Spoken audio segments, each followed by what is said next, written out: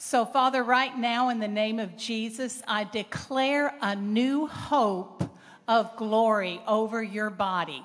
And I pray right now that each one of us will have our eyes open to see what is before us and to put our faith and our trust in you, the King of glory, and not in man, not in politics, not in administrations that are of this world, but in your administration. So, Father, we agree with your administration, your new vision, and revival for this nation in Jesus' name.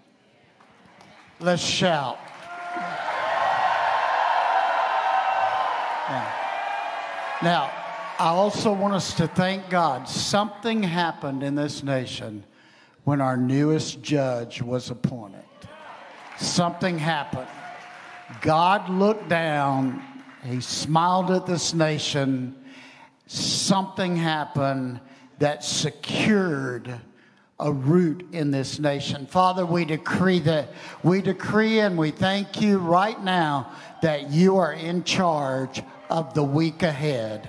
In Jesus' name, amen. This is a very key week. Something's happened in our nation. Now, I want us to realize that.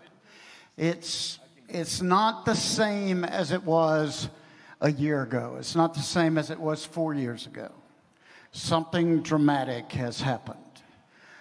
Uh, I have been asked many times uh, why I have not decreed that President Trump will win this election. And you know, I'm a true prophet.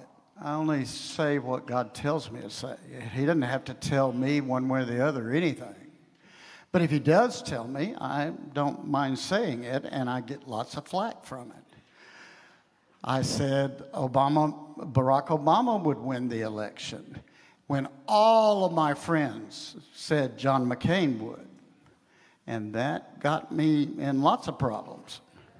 Uh, I said in 2008, the Lord told me in 2012, a new, uh, new administ- uh, 2016, a new administration would begin, and President Trump would be a part of that. So he told me that in 2008. That wasn't difficult for me. That's written in my books the passage God gave me for these four years is all that God has said to me. Our nation is at a very crucial place, but I will say this our nation is not in apathy any longer. Let's thank God for that. I would, the Lord says, I would rather have you hot or cold, just don't be in apathy.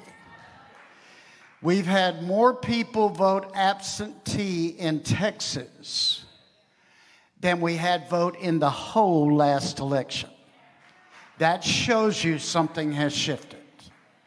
All across this nation, I see apathy leaving. That's a good sign for us. Uh, it's a good sign that we're hearing voices rise up, good, bad, and ugly. I know in a family that had lots of different voices rise up, it was always good when they would rise up good, bad, or ugly because you could at least get it out there. Now, so the only passage God gave me for these four years, I say it with confidence. And it is more about our nation than it is about the candidate that will lead it in the future. He gave me this passage when he told me that President Trump would be a part of this nation and would be the president of this nation and what would happen during his four years. That during the first three years, everything would be done to pull it up and pull him out of his office. That has occurred during those first three years. It has occurred. I've never seen anything like that in my life with any president. Uh, it wouldn't matter if he wore a green shirt, it would be lambasted. I don't believe that needs to be for anybody, to be quite honest. I believe people need to be free and respect it. And the minute we don't respect certain people, we're in trouble. That'll come back on you seven times. I've respected President Clinton during his entire uh, uh, tenure as president. Prayed for him more than I prayed for any president. President Bush, President Obama, and President Trump. And so there is a respect God's children are required of for those that serve them at that level. The Bible tells us that. And we have to have absolutes. I love what James said. See, you have three things going on. You have the conservative right.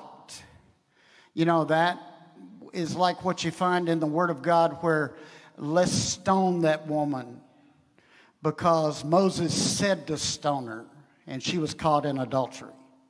See, and then you have, and Jesus said, well, we can use the law or we can use a new grace.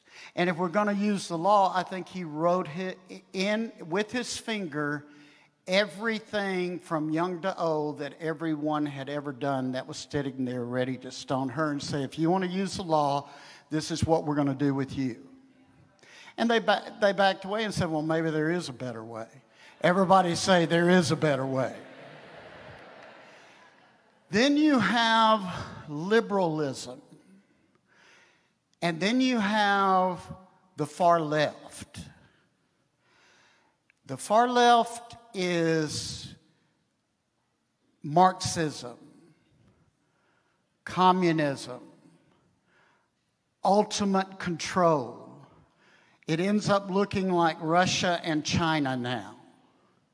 What God told me in 1986 was if we didn't shift in 2020, by 2026, we look like China.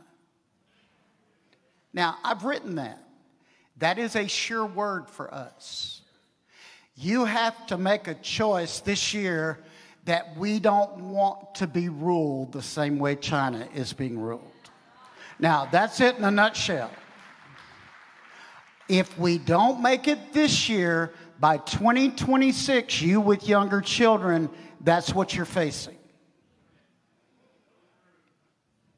Now,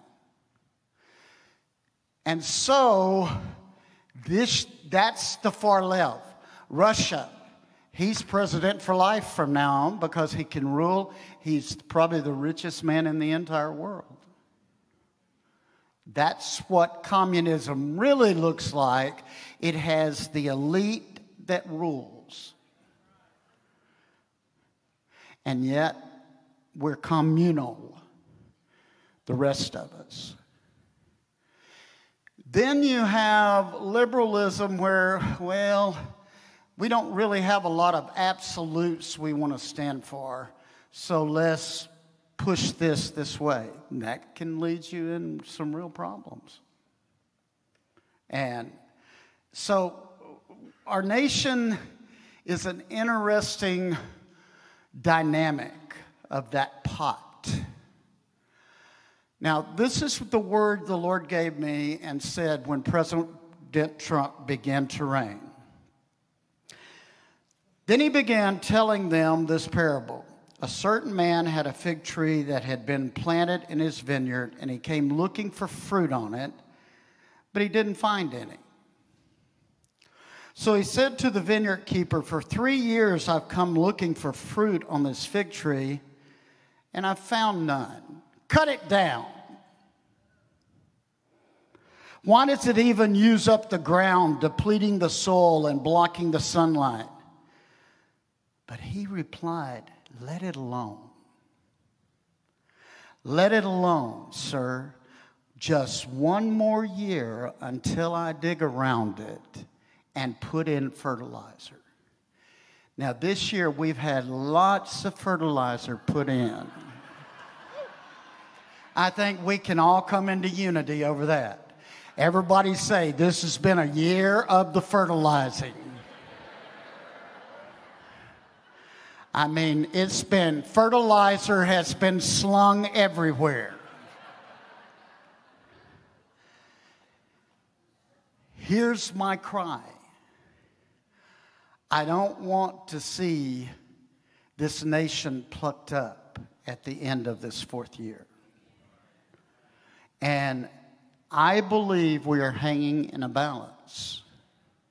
And God is saying, God has had mercy on us this year, even in the middle of the fertilizing. Now, hear what I'm saying to you. Quit trying to stop the stench of the fertilizer. It was needed this year so we could really see what this nation was about and see how it would bear fruit in the coming year. The Lord again spoke to me and said, This will not be fully settled until January the 18th. We, it will be swampy, it will be nasty, and we must stand praying until then. So, I have said what God has said to me. I have not held back. I hope you, some way in the middle of the fertilizing, have not had too much slung on you. But if you did, that was necessary. Because this year has been a very difficult year of being dug around and fertilized. But let's decree right now we're on the verge of growing in a new way. Father, we say right now, we ask for your fruit that will come from what you have done these last four years in Yeshua's name.